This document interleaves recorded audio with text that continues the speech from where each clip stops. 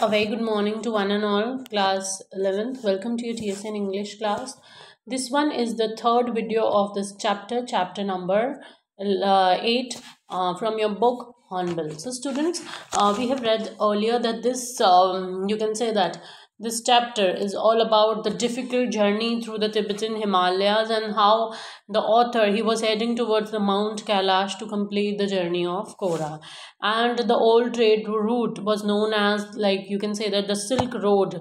So uh, here are the graphic description, the local culture, and the places are really graphic and breathtaking here. So uh, today we'll uh, read our chapter from here, this paragraph here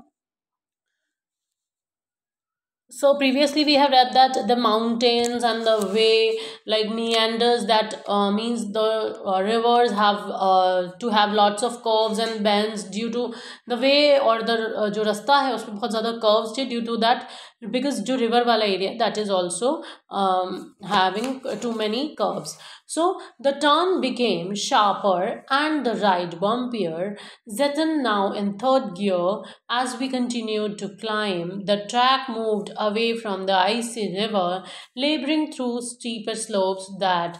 spotted big rocks daubed with patches of bright orange lichen. So here the turn became sharper and the ride bumpier. अब जो turns हैं because the uh, that valley is there and mountains are there so turns जो है वो क्या हो गए थे और ज़्यादा sharp हो गए थे and the ride bumpier and there are uh, the ride became uh, bumpier due to that um, way and Jaitan now in the third gear अब जैतन ने अपनी जो कार है, जो व्हीकल है, उसे थर्ड गियर पे कर लिया था as we continue to climb और अब वो धीरे धीरे वादी में और ऊपर चढ़ते जा रहे थे। The track moved away from the icy river और अब जो ट्रैक है, वो आईसी रिवर से दूर जाता जा रहा था, या दिवर रिवर जो है हमें दूर की तरफ़ दिखाई दे रही थी। वी कंटिन्यू टू क्लाइम अब वो ऊपर चढ़ते ही जा रहे थे।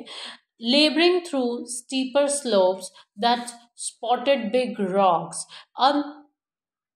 जो बड़े बड़े जो रॉक्स वाला जो एरिया था, वहाँ पर या स्टीपर स्लोप्स पे दे नीड और they face to डिफिक too much to many difficult situations over there and spotted bigger rocks doped with patches of bright orange legends and there are big on those big rocks over there in that valley वहाँ पर that doped doped means that colourful you can say that colourful patches थे bright orange legends के what are लिचन्स लिचन्स are like wild plants आप कह सकते हैं तो wild plans के खुद beneath the rocks hunks of snow and beneath that rocks um, hunks of snow are there or you can say that pieces or small amount of uh, snow is there and snow clung uh, on a near permanent shade और ऐसा लग रहा था जैसे snow ने उन्हें permanently वहाँ पे कवर कर लिया है I felt the pressure building up in my ears और जैसे जैसे हाइट पे जाते जाते तो people felt that pressure so ऐसे ही जो नरेटर है द ऑथर है वो कह रहा है कि मुझे जो है प्रेशर फील होने लगा था इन माई years held my nose and snotted and clear them तो उसने स्नॉर किया और उन्हें क्लियर किया and we struggled round we struggled round another tight bend and Jatan stopped और जब वो स्ट्रगल कर रहे थे एक ऐसे टाइट बैंड से निकलने की at that time Jatan stop Jatan रुक गया. He had opened his door and jumped out of the seat before I realise what was going on and इससे पहले कि ऑथर को रियलाइज़ होता कि क्या हो रहा है जतन बाहर निकला, गाड़ी से एंड जम्प कर लिया उसने। And and uh, jumped out of the seat before I realized what was going on. Snow said Daniel as he too exited the vehicle. तो एग्जिटेड द व्हीकल डैनियल ने भी ये कहा कि स्नो है यहाँ पे एंड ऐसा कह के वो एग्जिट कर गया व्हीकल से letting in a breath of cold as he did so and letting in breath of cold of air और इस तरह वो कोल्ड एयर में ब्रेथ करने लगा या वो लोग सब बाहर आकर थोड़ी देर सांस लेने लगे। ठंडी हवा में एज ही डिड सो जैसा बाकी सब कर रहे थे, वैसे ही।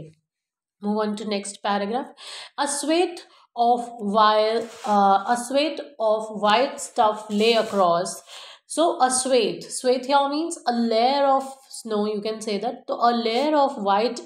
stuff lay across the track in front of अस हम उन सबके सामने ऐसे लेयर ऑफ स्नो थी stretching for maybe fifteen metres before it petered out and approximately fifteen metres तक वो लेयर थी। And petered out your means that degrees is gradually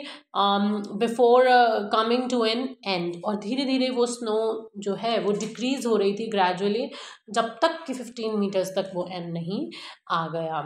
And move on to next stretching for maybe 15 meters before it petered out and the dirt trail reappeared and after that 15 meters dirt trail means the path which is full of like dirt and all अब वापस वो reappear या दिखने लगा the snow continued on either side of us अब snow जो है वो उनके तीनों तरफ था smoothing the abrupt bank on the upslope slide और अब जो है उनके दोनों तरफ़ स्नो था एंड स्मूदिंग द अब्रप्ट और अचानक उस स्मूदिंग वे में कुछ अब्रप्ट और कुछ अनएक्सपेक्टेड जो एजेस हैं या जो बैंक्स हैं वहाँ के, उसके स्लोप पे up slope side the bank was too steep for our vehicle to stay scale और अब ये जो किनारे थे, ये इतने स्टीप थे for their vehicle to scale या वहाँ से निकल पाना so there was no way round the snow patch तो अब उनके पास जगह ही नहीं बची थी तो स्नो पैच से जाना ही पड़ा। तो I join Daniel as Jetan stopped on to the encrusted snow वो कह रहे हैं कि हमने डैनियल को I join Daniel as Daniel के लिए को उसने ज्वाइन किया and as Jetan stepped on to the encrusted snow ताकि जेटन जो है वो इस एनक्रस्टेड और you can say that a thin layer of snow पर अपना पैर रख कर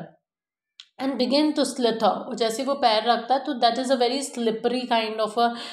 place so वो स्लिथर जैसे स्नेक स्लिथर करता हुआ जाता है, वैसे ही so slither your means to move by like sliding from side to side along the ground like a snake तो वैसे ही उसने भी स्लिथर करा एंड स्लाइड फॉरवर्ड और वो आगे चला गया स्लाइड करके। Stamping his foot from time to time to ascertain how sturdy it was और उसके बाद उसने हर जगह अपने फुट के स्टैम्प्स बना दिए so that because he is checking your whether the snow is like hard sturdy और or enough to put put their legs or whether the snow is like that जहाँ पे पैर रखते ही ऐसा हो कि पैर अंदर धस जाए। So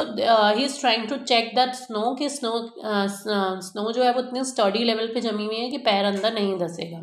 So I looked at my wrist watch we were at five thousand two hundred and ten metres above the sea level और वो कह रहा है कि उन्होंने उनकी रिस्ट वॉच देखी तो वो कहाँ पर थे? Five thousand two hundred and ten metres above the sea level sea level से five thousand two hundred and ten metres ऊपर आ चुके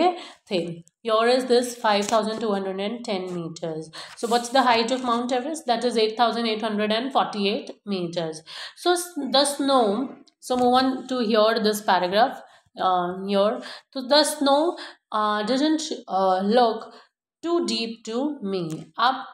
your the author is saying that अब उसको स्नो इतनी डीप नहीं लग रही थी इतनी गहरी इतनी मोटी परत नहीं थी but the danger was in its depth but snow की depth is was not the danger Daniel said ऐसा डैनियल ने कहा so much as its icy top layer. So what is the danger main danger here? The icy top layer of the that uh, snow because if we slip of the car को turn over अगर वो लोग वहाँ से slip हुए तो car सीधी पलट के उल्टी हो जाएगी। And he suggested as we saw Jetan grabs handful of dirt and fling them across the frozen surface and जैसे ही वो ये सजेस्ट करते तो जेतन जो है, वो आगे जाके क्लास के हाफ़ ईयरली वाले लिस्ट लेके अभी बुला रहे हैं।